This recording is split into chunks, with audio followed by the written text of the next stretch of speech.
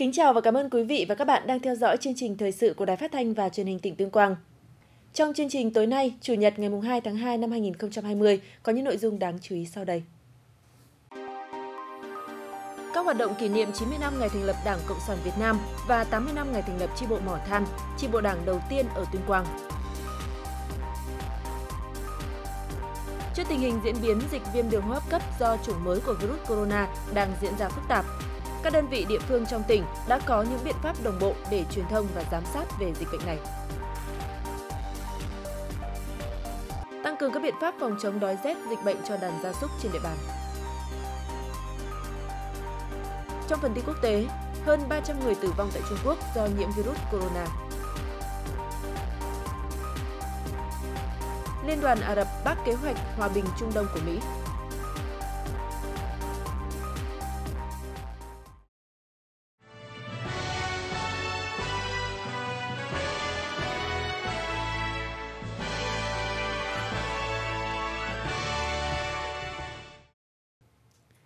Nhân kỷ niệm 90 năm ngày thành lập Đảng Cộng sản Việt Nam, mùng 3 tháng 2 năm 1930, mùng 3 tháng 2 năm 2020, 80 năm ngày thành lập chi bộ Mỏ Than, chi bộ Đảng đầu tiên của tỉnh Tuyên Quang. Ngày mùng 1 tháng 2, đồng chí Lê Thị Kim Dung, Ủy viên Ban Thường vụ tỉnh ủy, Bí thư Thành ủy thành phố Tuyên Quang đã trao tặng huy hiệu Đảng cho các đảng viên tại Đảng bộ phường Tân Quang, Nông Tiến và phường An Tường. Trong dịp này, Đảng bộ phường Tân Quang, Nông Tiến và phường An Tường có 54 đảng viên được nhận huy hiệu 70 năm, 60 năm, 55 năm, 50 năm, 45 năm, 40 năm và 30 năm tuổi Đảng. Tại buổi lễ, đồng chí Bí thư Thành ủy Lê Thị Kim Dung bày tỏ sự trân trọng đối với những đóng góp của các đảng viên lão thành và mong muốn các đảng viên vinh dự được nhận huy hiệu Đảng tiếp tục phát huy phẩm chất đạo đức cách mạng, tinh thần tiên phong gương mẫu, tuyên truyền vận động con cháu thực hiện tốt chủ trương, đường lối chính sách của Đảng, Nhà nước, quan tâm đóng góp ý kiến thiết thực hiệu quả vào công tác lãnh đạo chỉ đạo của cấp ủy chính quyền các cấp, góp phần xây dựng thành phố Tuyên Quang ngày càng giàu đẹp văn minh. Nhân dịp này, câu lạc bộ Tân Trào đã tổ chức gặp mặt các hội viên là cán bộ tiền khởi nghĩa, lão thành cách mạng đang sinh hoạt tại câu lạc bộ. Tại buổi gặp mặt, các đại biểu đã ôn lại chặng đường lịch sử vẻ vang 90 năm qua của Đảng và 80 năm ngày thành lập chi bộ Mỏ Than, chi bộ Đảng đầu tiên ở tỉnh Tuyên Quang.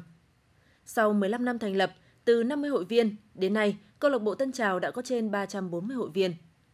Nét nổi bật là câu lạc bộ đã tích cực tham gia vào xây dựng các văn kiện của Đại hội Đảng bộ các cấp, tham gia đóng góp nhiều ý kiến vào các chương trình kinh tế xã hội trọng tâm của tỉnh.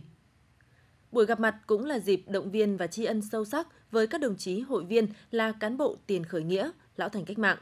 đảng viên 50 năm tuổi đảng trở lên đang sinh hoạt tại câu lạc bộ – đồng thời khích lệ các đồng chí hội viên tiếp tục dành tâm huyết, trí tuệ, đóng góp nhiều ý kiến vào công tác xây dựng Đảng, xây dựng chính quyền, góp phần xây dựng quê hương Tuyên Quang ngày càng phát triển. Thưa quý vị và các bạn, năm 2020 đánh dấu chặng đường vẻ vang 90 năm có Đảng và 80 năm ra đời, trưởng thành và lớn mạnh không ngừng của Đảng bộ tỉnh Tuyên Quang. Vai trò lãnh đạo và chỉ đạo của Đảng bộ tỉnh, năng lực và sức chiến đấu của các tổ chức cơ sở Đảng được nâng lên – sự đoàn kết thống nhất trong toàn đảng bộ, khối đại đoàn kết toàn dân tộc được duy trì, phát huy, đã tạo động lực để Tuyên Quang hoàn thành thắng lợi các chỉ tiêu chủ yếu đề ra. Tăng cường công tác kiểm tra giám sát là một trong những nhiệm vụ trọng tâm được các cấp ủy Đảng ở Tuyên Quang đặc biệt chú trọng. Nhiều cuộc kiểm tra thanh tra được thực hiện theo tinh thần nhìn thẳng vào sự thật, nói rõ sự thật, đánh giá đúng sự thật, từ đó mỗi cấp ủy tổ chức Đảng, cán bộ đảng viên tự soi mình, tự phê bình và đấu tranh phê bình, nhận diện xác định rõ những biểu hiện suy thoái về tư tưởng, đạo đức, lối sống, biểu hiện tự diễn biến, tự chuyển hóa trong nội bộ để có giải pháp khắc phục hiệu quả. Việc thực hiện chức trách nhiệm vụ tinh thần nêu gương của người đứng đầu được phát huy và thể hiện rõ qua mỗi hành động việc làm thiết thực đã xây dựng nên hình ảnh đẹp về người cán bộ đảng viên gần dân, hiểu dân, trọng dân và có trách nhiệm với nhân dân. Những năm qua, các đảng bộ trực thuộc tỉnh ủy đã tập trung cao cho công tác xây dựng cán bộ lãnh đạo quản lý các cấp để có đủ trình độ và uy tín, thực hiện các nhiệm vụ chính trị trong tình hình mới. Việc phát triển đảng ở các chi đảng bộ cơ sở được thực hiện theo hướng chú trọng chất lượng, lấy kết quả hoạt động thực tiễn, tinh thần tiên phong gương mẫu của đội ngũ cán bộ làm thước đo đánh giá hiệu quả của công tác xây dựng đảng trong sạch, vững mạnh. Đảng bộ tỉnh luôn chú trọng đổi mới phương thức lãnh đạo của đảng nâng cao vai trò và hiệu quả lãnh đạo chỉ đạo việc đổi mới phương thức lãnh đạo của đảng được thể hiện ở những điểm sau đây. Thứ nhất, việc ban hành văn bản của Đảng có nhiều đổi mới, chỉ ban hành những nghị quyết, chỉ thị khi thật cần thiết. Các nghị quyết, văn bản chỉ đạo của cấp ủy được đổi mới theo hướng cụ thể, sát thực tế, phù hợp với nguyện vọng của nhân dân, tập trung vào những vấn đề quan trọng có tác động lớn đến phát triển kinh tế xã hội của tỉnh và đời sống của nhân dân là thực hiện đặt hàng giao nhiệm vụ cho người đứng đầu một số cơ quan đơn vị gắn việc đánh giá chất lượng cán bộ đảng viên tổ chức đảng với thực hiện nhiệm vụ được giao. 90 năm có đảng lãnh đạo 80 năm kể từ ngày thành lập chi bộ Mỏ Than chi bộ đảng đầu tiên của tỉnh Tuyên Quang. Từ một chi bộ có 7 đảng viên đến nay đảng bộ tỉnh Tuyên Quang có 11 đảng bộ trực thuộc tỉnh ủy. Với 459 tổ chức cơ sở đảng, 3.001 chi bộ trực thuộc đảng ủy cơ sở, trên 56.000 đảng viên. Tinh thần cách mạng, ý chí chiến đấu của lớp đảng viên đầu tiên luôn được các thế hệ cán bộ đảng viên tiếp nối và phát huy, xây dựng đảng bộ tỉnh ngày càng lớn mạnh về tư tưởng chính trị, tổ chức và đạo đức, từ đó nâng cao năng lực lãnh đạo và sức chiến đấu của đảng bộ, đổi mới mạnh mẽ, vững chắc và giành nhiều thắng lợi mới. Trong những năm gần đây, các cấp ủy đảng trong tỉnh cùng với cả hệ thống chính trị đã đi vào xây dựng và phát triển tỉnh nhà theo hướng công nghiệp hóa, hiện đại hóa. Cho đến nay, tôi hết sức cảm phục các đồng chí ờ, lãnh đạo của tỉnh đã tiếp bước cha anh, tiếp bước các thế hệ đi trước và có bổ sung rất sáng tạo để mà đưa tỉnh nhà đi lên thể hiện một cái uh, tâm đầu ý hợp giữa đảng và dân. Mà ta thường nói là ý đảng lòng dân. Và lòng dân theo đảng kết quả đó không phải dễ mà có được. Phát huy truyền thống vẻ vang của đảng tự hào về truyền thống cách mạng của quê hương đảng bộ quân và dân trong tỉnh luôn vững mãi một niềm tin tiếp tục thi đua vượt qua thách thức, đẩy mạnh sự nghiệp công nghiệp hóa, hiện đại hóa, xây dựng quê hương ngày càng giàu đẹp, vững bước tiến lên theo con đường xã hội chủ nghĩa, vì mục tiêu dân giàu nước mạnh, dân chủ, công bằng, văn minh.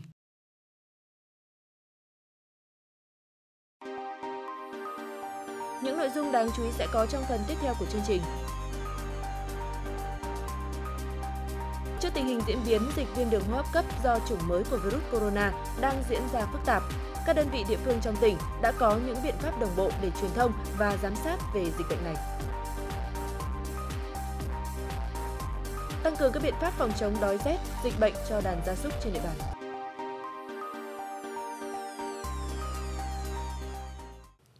Trước diễn biến phức tạp của dịch bệnh viêm đường hô hấp cấp do chủng mới của virus corona nCoV gây ra, các trường học trên địa bàn thành phố Tuyên Quang đã thực hiện các biện pháp phòng chống dịch và đảm bảo công tác giảng dạy, học tập của thầy và trò. Ghi nhận tại trường Trung học phổ thông chuyên Tuyên Quang. Ngay sau kỳ nghỉ Tết Nguyên đán, những học sinh này đã bắt đầu quen với việc sử dụng khẩu trang từ nhà đến trường, thậm chí là cả trong lớp học. Tuyên truyền cho học sinh và toàn thể giáo viên nhà trường các dấu hiệu nhận biết và cách tự bảo vệ sức khỏe bản thân để phòng chống dịch corona đã được trường Trung học phổ thông chuyên Tuyên Quang tập trung triển khai.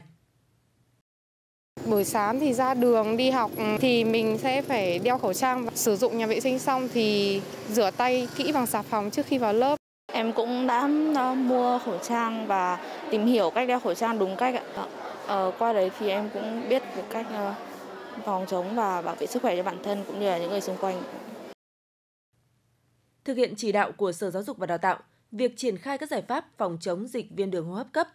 trường Trung học phổ thông chuyên Tuyên Quang đã tập trung tuyên truyền, hướng dẫn cho các em học sinh, phụ huynh học sinh về mức độ nguy hiểm của dịch bệnh và cách phòng tránh. Đồng thời triển khai các biện pháp chăm sóc sức khỏe, nâng cao chất lượng hoạt động y tế học đường. Chúng tôi đã triển khai họp khẩn với toàn thể giáo viên chủ nhiệm và các cái đoàn thể trong trường triển khai nhanh các cái biện pháp một là khuyến cáo học sinh đeo khẩu trang khi đến trường hai là trang bị đủ các cái dung dịch nước rửa tay sát khuẩn ở trước cửa các lớp. Thứ ba là ờ, trang bị đủ ờ, xà phòng rửa tay, rồi vệ sinh khử khuẩn đối với nhà vệ sinh và lớp học. Và thứ tư là trang bị đủ nước ấm bằng máy đun nước ba vòi cho học sinh sử dụng đủ trong toàn trường. Thứ tư là thông tin rộng rãi đến học sinh cái khuyến cáo của Bộ Y tế về ờ, cái nguy cơ dịch bùng phát.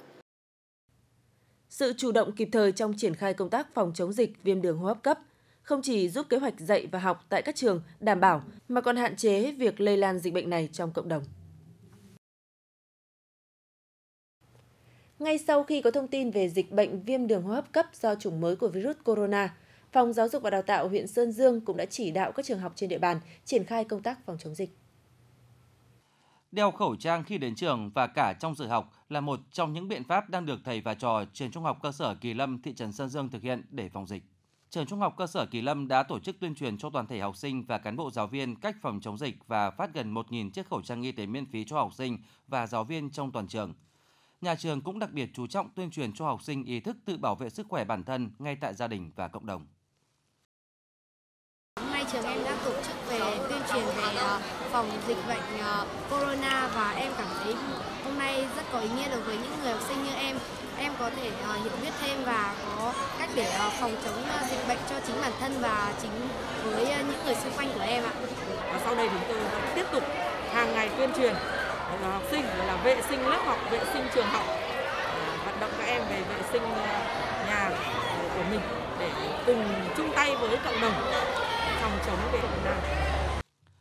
Trước diễn biến phức tạp của dịch bệnh do virus corona, các trường học trên địa bàn huyện Sơn Dương đẩy mạnh các giải pháp phòng chống dịch bệnh, đồng thời triển khai các giải pháp chăm sóc sức khỏe, nâng cao chất lượng hoạt động y tế học đường.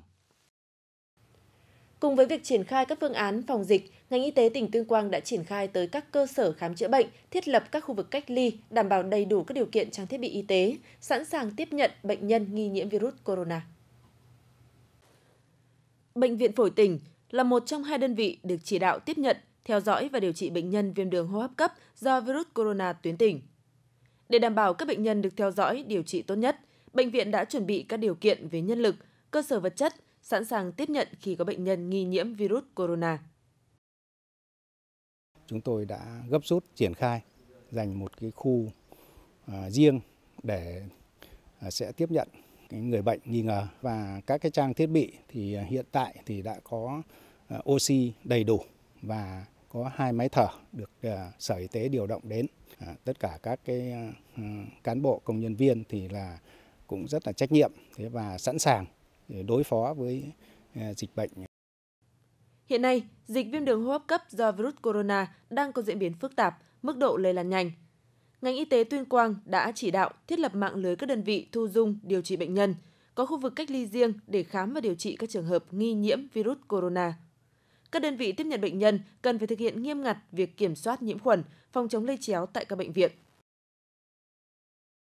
Như hiện nay thì chúng tôi đang à, đặt vấn đề là sẽ lấy bệnh viện phổi làm cái nơi mà à, dự phòng, quản lý và điều trị tại bệnh viện phổi. Ờ, và phương án thứ hai đó là đảm bảo cái việc mà cung ứng thuốc, vật tư cho đơn vị y tế để đảm bảo đáp ứng mà khi có ca bệnh cũng như là khi có số lượng người mắc nghi ngờ à, có xu hướng tăng lên để đảm bảo cho cái việc mà à, khống chế mà bệnh lây lan ra ờ, nhiều người cũng như là ra cộng đồng. Ngành y tế tỉnh cũng đề nghị các cơ sở y tế giám sát chặt chẽ các trường hợp viêm đường hô hấp cấp không rõ nguyên nhân.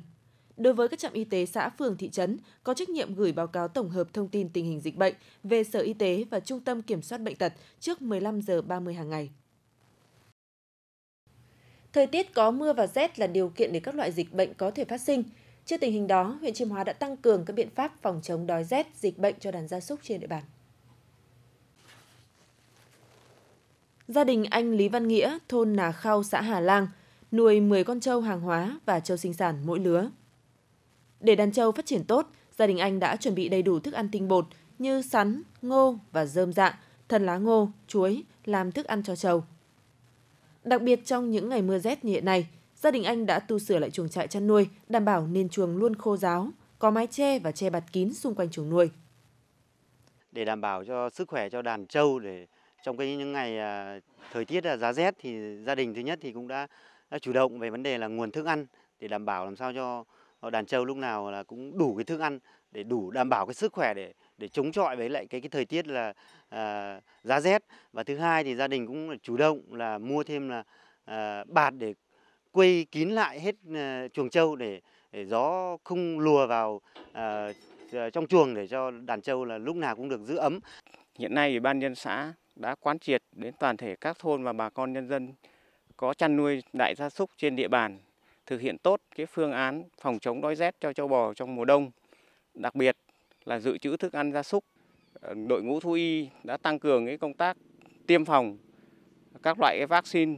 lớn như là lở mồm long móng, tụ huyết trùng cho tất cả các con trâu ở trên địa bàn. Huyện Chiêm Hóa hiện nay có trên 31.000 con trâu bò. Để đảm bảo cho đàn gia súc phát triển tốt, huyện Chiêm Hóa đã chỉ đạo các xã tập trung tuyên truyền cho bà con nông dân tận dụng triệt để những phụ phẩm trong nông nghiệp để chế biến thức ăn, dự trữ cho đàn vật nuôi. Những ngày rét đậm rét hại, cho gia súc nghỉ làm việc, nuôi nhốt và chăm sóc tại chuồng, không được thả rông. Bên cạnh đó, công tác tiêm phòng cho đàn gia súc cũng được các hộ gia đình trên địa bàn các xã thực hiện tốt. Thì à, để bảo vệ cho toàn bộ cái đàn gia súc trong cái vụ đông ấy và thực hiện sự chỉ đạo của tỉnh thì à, với phòng nông nghiệp đã tham mưu cho ủy ban huyện ban hành bổ sung cái ờ, phương án để phòng chống đói rét cho đàn gia súc trong vụ đông. Đấy. Với tổng số là tổng đàn cả huyện là trên 31.000 con và hiện nay căn cứ với tình hình thực tế thì cũng đã tham mưu văn bản hướng dẫn tất cả các xã, thị trấn ờ, vận động bà con là chủ động các cái phương án phòng chống đói rét một là phải chủ động về cái thức ăn thứ hai là làm tốt cái công tác tiêm phòng thứ ba là phải chuẩn bị toàn bộ cái chuồng trại để phòng chống rét cho đàn trâu bò trong vụ đông. Đến thời điểm này, hầu hết các hộ chăn nuôi trên địa bàn huyện Chiêm Hóa đã chủ động trong công tác phòng chống đói rét, dịch bệnh cho đàn gia súc, đảm bảo cho đàn vật nuôi phát triển ổn định. Thời gian qua, huyện Sơn Dương đã khuyến khích người dân áp dụng các tiến bộ khoa học kỹ thuật, đặc biệt là đưa các loại cây trồng mới vào sản xuất, bước đầu đã mang lại hiệu quả. Diện tích cây chanh Nhật này được người dân xã Tân Thanh đưa vào trồng được gần 2 năm nay. Đây là cây trồng mới được Hợp tác xã Nông nghiệp Việt Nhật AMS cung ứng giống, hướng dẫn kỹ thuật, đồng thời ký hợp đồng bao tiêu toàn bộ sản phẩm. Hiện toàn xã có trên 40 hecta. Đây là giống cây trồng dài ngày, từ 3 năm trở lên mới cho thu hoạch, nên xã khuyến khích người dân trồng xen canh về các cây trồng khác để tăng thu nhập. Chúng tôi cũng được à, kỹ thuật của bên hợp tác xã là cũng chuyển giao về kỹ thuật này, về cách chăm sóc này, cách trồng này, cách bón phân này, cách phun thuốc và cũng được à, ký kết hợp đồng bao tiêu cho à, sản phẩm sau có thu hoạch. Cây sắn dây đã được người dân tổ dân phố Măng Ngọt, thị trấn Sơn Dương lựa chọn để đưa vào sản xuất từ nhiều năm nay, đem lại hiệu quả kinh tế cao. Nhờ chất lượng sản phẩm tốt nên thị trường tiêu thụ ngày càng mở rộng. Các hộ dân đã liên kết thành lập hợp tác xã chế biến tinh bột sắn dây Thục Sơn, đưa tinh bột sắn dây trở thành sản phẩm hàng hóa. Để tiếp tục phát triển thương hiệu sản phẩm, Ủy ban nhân dân huyện Sơn Dương đã xây dựng đề án phát triển sản phẩm tinh bột sắn dây đến năm 2025 trở thành sản phẩm đặc trưng của huyện với diện tích vùng nguyên liệu khoảng 300 ha. Hiện nay, cây sắn dây đã được người dân các xã Tú Thịnh, Hợp Thành, Khánh Nhật, Bình Yên, Lương Thiện trồng nhân rộng. Làm sắn dây này thì thực sự là nói về kinh tế là hiệu quả cao. Chúng tôi có cái hướng là à, muốn phát triển thêm và muốn coi là để cho mọi người biết được cái sản phẩm này và có những cái đơn vị để ký hợp đồng. Việc đưa các giống cây trồng mới vào sản xuất trên địa bàn huyện Sơn Dương đã góp phần nâng cao thu nhập, giảm nghèo cho người dân, từng bước hướng đến mục tiêu phát triển kinh tế nông nghiệp hàng hóa tập trung.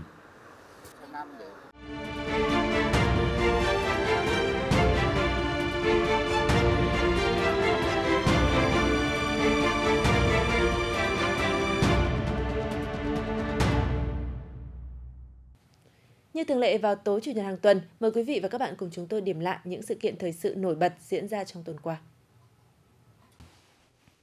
Sáng 29 tháng 1 tại thôn Khuôn Điển, xã Kim Quan, huyện Yên Sơn, tỉnh Tuyên Quang đã tổ chức lễ phát động Tết trồng cây Xuân Canh Tý năm 2020. Phát biểu tại buổi lễ, đồng chí Trần Quốc Vượng, Ủy viên Bộ Chính trị, Thường trực Ban Bí thư Trung ương Đảng, đánh giá cao phong trào trồng rừng của tỉnh Tuyên Quang đã đạt được nhiều kết quả quan trọng, thu hút đông đảo nhân dân tham gia bằng những nỗ lực của các cấp, các ngành và nhân dân, những năm qua tỉnh Tuyên Quang đã đề ra nhiều giải pháp tổng hợp như tạo quỹ đất sản xuất, thí điểm thực hiện công tác quản lý rừng bền vững và cấp chứng chỉ rừng quốc tế, chuyển giao khoa học kỹ thuật đưa những giống cây lâm nghiệp chất lượng cao vào trồng rừng để tăng thu nhập cho người làm nghề rừng. Có các chính sách và tạo điều kiện để các nhà đầu tư xây dựng các dự án, nhà máy chế biến gỗ với quy mô lớn. Ngay sau lễ phát động, đồng chí Thường trực Ban Bí thư Trung ương Đảng Trần Quốc Vượng cùng các đồng chí lãnh đạo tỉnh Tuyên Quang và các đại biểu dự buổi lễ đã tham gia Tết trồng cây đời đời nhớ ơn Bác Hồ Xuân Canh Tý 2020, mở đầu cho phong trào trồng cây gây rừng của tỉnh. Chiều 29 tháng 1, tại Trung tâm Hội nghị tỉnh, tỉnh ủy Tuyên Quang đã tổ chức trọng thể lễ kỷ niệm 90 năm ngày thành lập Đảng Cộng sản Việt Nam và 80 năm ngày thành lập chi bộ Mỏ Than. Trong diễn văn tại lễ kỷ niệm, đồng chí Bí thư tỉnh ủy Chầu Văn Lâm khẳng định, cách đây 90 năm, Đảng Cộng sản Việt Nam ra đời, đánh dấu bước ngoặt to lớn trong tiến trình lịch sử cách mạng Việt Nam. Tại Tuyên Quang, dưới sự chỉ đạo trực tiếp của Sứ ủy Bắc Kỳ, ngày 20 tháng 3 năm 1940, chi bộ Mỏ Than, chi bộ đảng đầu tiên của tỉnh Tuyên Quang được thành lập, trực tiếp lãnh đạo phong trào cách mạng tại Tuyên Quang. Kỷ niệm 90 năm ngày thành lập Đảng Cộng sản Việt Nam và 80 năm ngày thành lập chi bộ Mỏ Than, chúng ta càng thêm vinh dự, tự hào vì có Đảng và ý thức sâu sắc trách nhiệm của mình trong quá trình xây dựng Đảng ngày càng trong sạch, vững mạnh. Hơn bao giờ hết, mỗi cán bộ đảng viên trong toàn đảng bộ phải gương mẫu, rèn luyện phẩm chất chính trị, năng lực lãnh đạo, thường xuyên tu dưỡng đạo đức, lối sống, phấn đấu vì mục tiêu lý tưởng của Đảng. Kỷ niệm 90 năm ngày thành lập Đảng Cộng sản Việt Nam và 80 năm ngày thành lập chi bộ Mỏ Than, Ban Thường vụ tỉnh ủy đã biểu dương 130 đồng chí là bí thư chi bộ, đảng viên tiêu biểu trong toàn tỉnh. Sáng 29 tháng 1 tại Trung tâm Hội nghị tỉnh, Ủy ban Nhân dân tỉnh Tuyên Quang đã tổ chức hội nghị triển khai nhiệm vụ và phát động thi đua năm 2020. Năm 2019, với sự quyết tâm cao của cả hệ thống chính trị và nhân dân các dân tộc, tỉnh Tuyên Quang đã đạt được nhiều thành tích toàn diện trên tất cả các lĩnh vực. Năm 2020 là năm diễn ra nhiều sự kiện quan trọng của đất nước, năm cuối thực hiện nghị quyết đại hội đảng các cấp. Để hoàn thành các mục tiêu phát triển kinh tế xã hội năm 2020 và của cả nhiệm kỳ, các ngành, các địa phương phải làm tốt công tác kiểm tra giám sát, kịp thời chấn chỉnh, đề ra các giải pháp linh hoạt, khắc phục tình trạng trồng chéo, trùng lập gây bức xúc trong quá trình sản xuất kinh doanh. Tăng cường quản lý địa bàn, làm tốt công tác bảo đảm quốc phòng an ninh, đảm bảo môi trường thuận lợi cho phát triển kinh tế. Tiếp tục thực hiện tốt nghị quyết Trung ương 4 khóa 11, khóa 12 gắn với chỉ thị số 05 của Bộ Chính trị. Các ngành, các cơ quan, đơn vị, địa phương làm tốt hơn nữa công tác cán bộ, công tác nhân sự, phục vụ đại hội đảng bộ các cấp, đẩy mạnh các phong trào thi đua yêu nước, đảm bảo tốt an ninh chính trị, trật tự an toàn xã hội trước, trong và sau thời gian diễn ra đại hội đảng các cấp trên địa bàn tỉnh. Thay mặt các đồng chí lãnh đạo tỉnh, đồng chí Chủ tịch Ủy ban nhân dân tỉnh Phạm Minh Huấn đã phát động phong trào thi đua năm 2020. Sáng 31 tháng 1 năm 2020, tỉnh Tuyên Quang đã tổ chức cuộc họp triển khai các biện pháp cấp bách phòng chống dịch virus corona trên địa bàn tỉnh. Theo báo cáo của các ngành chức năng, hiện nay trên địa bàn tỉnh có gần 1.000 lao động đã đi làm việc tại Trung Quốc và đang trong thời gian nghỉ Tết tại địa phương. Chính vì vậy, một trong những giải pháp được đưa ra tại cuộc họp đó chính là các ngành như y tế, lao động thương binh và xã hội khẩn trương phối hợp với các địa phương làm tốt công tác tuyên truyền, vận động quản lý số lao động này và không để người dân tiếp tục đi lao động tại Trung Quốc. Đồng thời làm tốt công tác dịch tễ, quản lý những lao động là người Trung Quốc đang làm việc tại các khu công nghiệp trên địa bàn tỉnh. Trước tình hình dịch bệnh diễn biến phức tạp, lây lan nhanh, việc đẩy mạnh công tác thông tin tuyên truyền, đặc biệt là trên các phương tiện thông tin đại chúng của tỉnh đã được tăng cường, qua đó góp phần nâng cao nhận thức, ý thức tự phòng dịch của người dân trên địa bàn tỉnh. Ủy ban nhân dân tỉnh đã chỉ đạo các địa phương hạn chế việc tổ chức các hoạt động tập trung đông người để phòng ngừa hạn chế các nguy cơ bùng phát dịch bệnh. Mặc dù đến thời điểm hiện tại, trên địa bàn tỉnh chưa chính thức phát hiện trường hợp mắc bệnh viêm đường hô hấp cấp do chủng virus corona gây ra, nhưng công tác phòng dịch được xác định là nhiệm vụ trọng tâm, cấp bách, phải tập trung lãnh đạo, chỉ đạo thực hiện nghiêm túc, quyết liệt.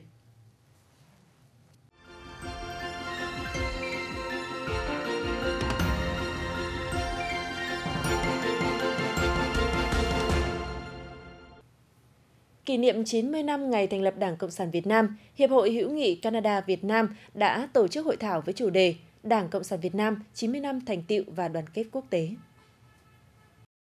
Hội thảo với chủ đề Đảng Cộng sản Việt Nam 90 năm thành tựu và đoàn kết quốc tế được tổ chức tại thành phố Toronto, Canada. Thay mặt Đảng Cộng sản Canada, ông Louis Lang đã gửi lời chúc mừng nồng nhiệt đến Đảng Cộng sản và nhân dân Việt Nam nhân kỷ niệm 90 năm ngày thành lập. Các đại biểu dự hội thảo đã rất ấn tượng và cảm phục khi xem lại tư liệu về những mốc son hào hùng của dân tộc Việt Nam, sự ra đời của Đảng Cộng sản Việt Nam, cuộc cách mạng tháng 8 năm 1945, chiến thắng Điện Biên Phủ lừng lẫy Nam Châu, cuộc kháng chiến chống Mỹ cứu nước và xây dựng chủ nghĩa xã hội, những thành tựu nổi bật của Đảng Cộng sản Việt Nam trên con đường phát triển.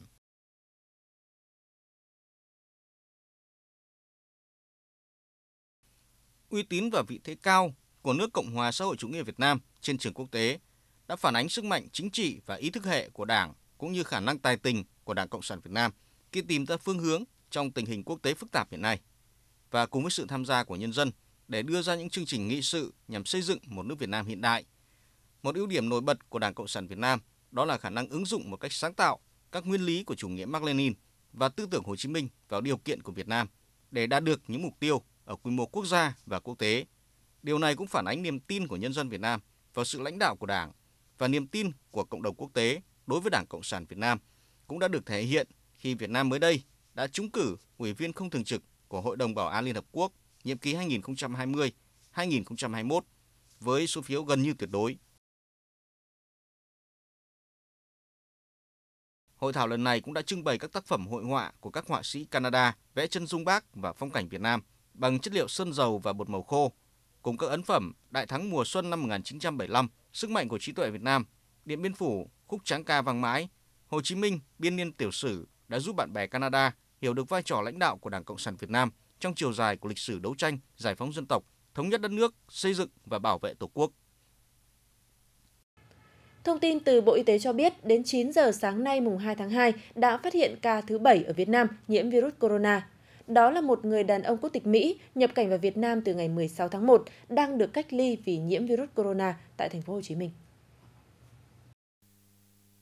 Cập nhật lúc 9 giờ sáng ngày hôm nay mùng 2 tháng 2 năm 2020, tại Việt Nam đã có 7 người mắc nCoV, trong đó có hai cha con người Trung Quốc, một người đã khỏi, ba công dân Việt Nam đều trở về từ Vũ Hán, Trung Quốc, một công dân Việt Nam là Lễ Tân có tiếp xúc gần với hai cha con người Trung Quốc và một công dân Mỹ đến Việt Nam quá cảnh tại Vũ Hán, Trung Quốc. Hiện bệnh viện Bệnh nhiệt đới Thành phố Hồ Chí Minh đang điều trị cho bệnh nhân dương tính với virus corona, đó là ông THK sinh năm 1947 quốc tịch Mỹ. Trước khi nhập viện, người này lưu trú tại phòng 202 khách sạn Triều Hân, 382 đường 1 tháng 3, Nguyễn Thị Minh Khai, phường 5, quận 3, Thành phố Hồ Chí Minh. Ông THK phát bệnh ngày 26 tháng 1 và viện ngày 31 tháng 1. Hiện tại bệnh nhân không sốt, không đau, cơ, ho khan, đôi khi khó thở. Ngày 14 tháng 1, bệnh nhân bay từ Mỹ về Việt Nam trên chuyến bay ký hiệu 660 của hãng hàng không Trung Quốc. Ngày 15 tháng 1, bệnh nhân quá cảnh tại sân bay Vũ Hán Trung Quốc trong vòng 2 tiếng. Ngày 16 tháng 1, người này tới sân bay Tân Sơn Nhất, thành phố Hồ Chí Minh và di chuyển đến khách sạn Triều Hân tại đường Nguyễn Thị Minh Khai, phường 5, quận 3.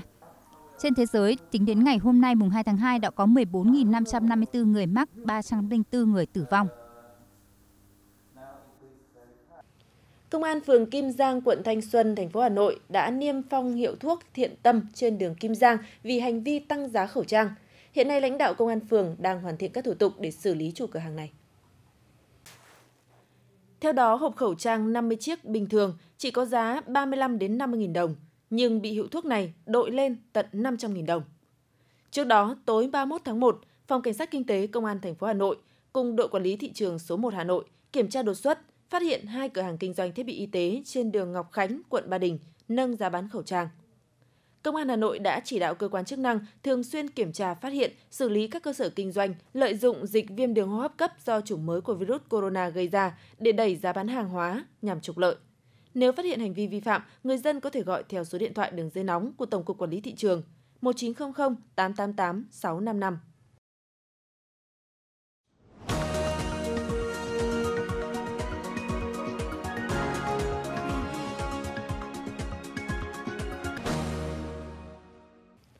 Kênh truyền hình nhà nước Trung Quốc sáng nay mùng 2 tháng 2 cho biết, nhà chức trách tại tỉnh Hồ Bắc Trung Quốc, tâm điểm bùng phát dịch viêm phổi cấp do virus corona gây ra, vừa thông báo có thêm 45 ca tử vong nữa, nâng tổng số ca tử vong trên toàn Trung Quốc do virus này lên tới hơn 300 tính đến thời điểm ngày mùng 1 tháng 2. Đã có thêm 1.921 trường hợp nhiễm virus corona tại tỉnh Hồ Bắc, nâng số trường hợp nhiễm virus corona tại tỉnh này lên tới hơn 9.000 người. Trong khi đó, 43.121 người vẫn đang được theo dõi y tế. Trong số các ca nhiễm được xác nhận, có 1.118 trường hợp là trường hợp nghiêm trọng và 444 trường hợp nguy kịch. Hiện nước này đang đưa ra biện pháp quyết liệt để ngăn dịch lan rộng, phong tỏa nhiều tuyến đường và áp dụng biện pháp nghiêm ngặt, hạn chế người dân ra khỏi nhà. Hiện trên toàn Trung Quốc có 2.590 trường hợp nhiễm mới kể từ ngày 31 tháng 1, nâng tổng số ca nhiễm bệnh tại nước này lên hơn 14.380 người. Trong lúc virus corona đang lây lan nhanh chóng thì Trung Quốc lại tiếp tục ghi nhận đợt bùng phát dịch cúm gia cầm H5N1 tại tỉnh Hồ Nam của nước này. Trung Quốc vừa thông báo đợt bùng phát dịch cúm gia cầm H5N1 tại tỉnh Hồ Nam, giáp biên giới phía nam của tỉnh Hồ Bắc, nơi đang là tâm điểm của dịch viêm phổi cấp do virus corona gây ra. Vụ việc xảy ra tại một trang trại có gần 7.900 con gà, 4.500 trong số đó đã chết vì cúm gà. Chính quyền địa phương đã tiêu hủy hơn 17.000 gia cầm sau khi dịch bệnh bùng phát. Sau vụ việc này, chính quyền tại đây đã đưa ra các biện pháp phòng ngừa cần thiết để quản lý sự bùng phát virus. H5N1 là loại virus cúm truyền nhiễm cao. Một số chủng H5N1 có thể truyền sang người. Chủng virus này lần đầu tiên được phát hiện xâm nhiễm trên người tại Hồng Kông vào năm 1997. Ngày 1 tháng 2, Liên đoàn Ả Rập đã bác bỏ kế hoạch hòa bình Trung Đông của Tổng thống Mỹ Donald Trump vừa công bố hồi tuần trước, cho rằng bản kế hoạch này không công bằng với người Palestine. Tuyên bố của Liên đoàn Ả Rập nêu rõ tổ chức này bác bỏ kế hoạch hòa bình Trung Đông, còn được gọi là thỏa thuận thế kỷ của Mỹ, Israel, cho rằng kế hoạch này không đáp ứng các quyền tối thiểu cũng như nguyện vọng của người dân Palestine. Các nhà lãnh đạo Liên đoàn Ả Rập cũng bày tỏ cam kết sẽ không hợp tác với chính quyền Mỹ để thực hiện kế hoạch này. Trước đó, Tổng thống Mỹ Donald Trump hôm 28 tháng 1 đã công bố kế hoạch hòa bình Trung Đông dài 80 trang tại Nhà Trắng với sự có mặt của Thủ tướng Israel Benjamin Netanyahu. Kế hoạch này đề xuất giải pháp hai nhà nước một cách thực tế cho Israel và Palestine.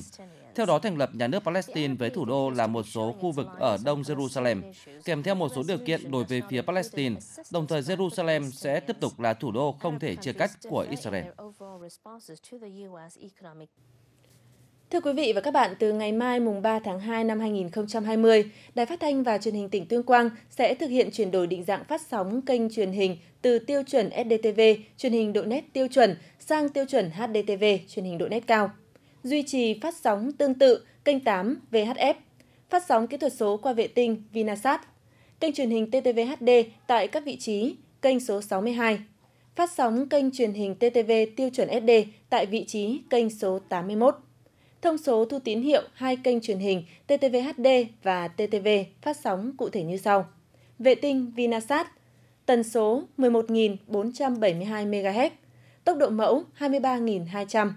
FEC 3 phần 4, điều chế 8 PSK, phân cực ngang. Đài Phát thanh và Truyền hình tỉnh Tuyên Quang trân trọng thông báo để quý khán giả biết điều chỉnh thiết bị thu hình cho phù hợp. Thông tin vừa rồi cũng đã kết thúc chương trình thời sự tối nay của Đài Phát thanh và Truyền hình tỉnh Tuyên Quang. Cảm ơn sự quan tâm theo dõi của quý vị và ngay sau đây sẽ là thông tin về tình hình thời tiết các địa phương trong tỉnh.